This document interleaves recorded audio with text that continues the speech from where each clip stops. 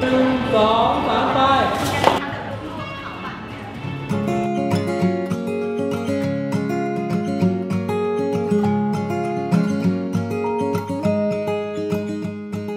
ถ้าผู้หญิงผิวสวยเด่นแล้ว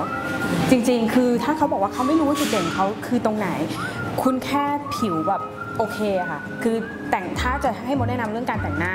คุณทำให้ผิวคุณดู perfect แต่ไม่ใช่การแต่งที่หนาหนาหนาลงไป แล้วอย่างที่บอกค่ะมดเน้นเรื่อง highlight shading คือการสร้างมิติให้กับใบหน้ามดมองว่าคนที่มีการไฮไลท์คือช่วงช่วงกลางหน้าใต้ตาปลายคางนิดนึงจะตรงจะงอยปากนิดนึง แล้วการ shading เข้ามาเนี่ยมันทำให้หน้าดูมีมิติชอบมากๆเลยค่ะ แล้วก็อีกอย่างหนึงนะคะก็คือได้แต่งหน้า พี่มดค่ะบล็อกเกอร์ชื่อดังดีใจมากๆเลยค่ะ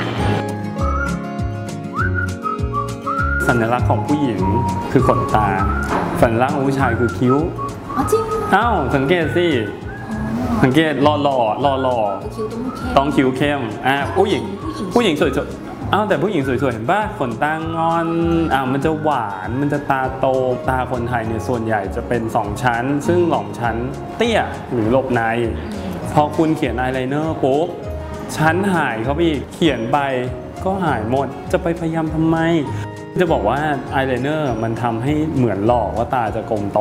แต่จริงๆอะดูดีๆมันจะแข็ง คือเพราะว่ามันไม่มีมิตินึกออกปะนิวแบนอยู่เนี้ยก็ที่บอกอะคือการปัดขนตาครับพอปัดขนตาปุ๊บอะมันจะสร้างแบบว่ามิติด้วยแล้วขนตายิ่งหนายิ่งดำเนี่ย มันจะทำให้ขอบตาคมขึ้นอีก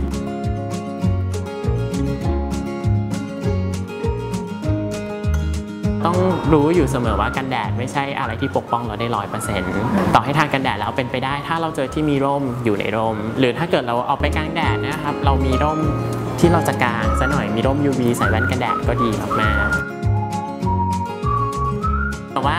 กันแดดมันจะปกป้องผิวเราได้ก็ต่อเมื่อมันติดอยู่บนผิวเรา ดังนั้นสำหรับคนที่หน้ามันมาก ๆ มันก็เยิ้มใช่ไหมครับ แล้วอาจจะมีการซับหน้ากันแดดก็อาจจะหลุดออกมาก็จะงั้นค่าการปกป้องก็จะน้อยลง เราคงจะไม่ เติมกันแดดในระหว่างวัน เพราะว่าบางทีจัดหน้าเต็มมา อย่างน้อยขออ่าเป็นพวกแป้งอะครับที่มี SPF touch up ลงไปอย่างน้อยแล้วก็เพิ่ม SPF ได้แล้ว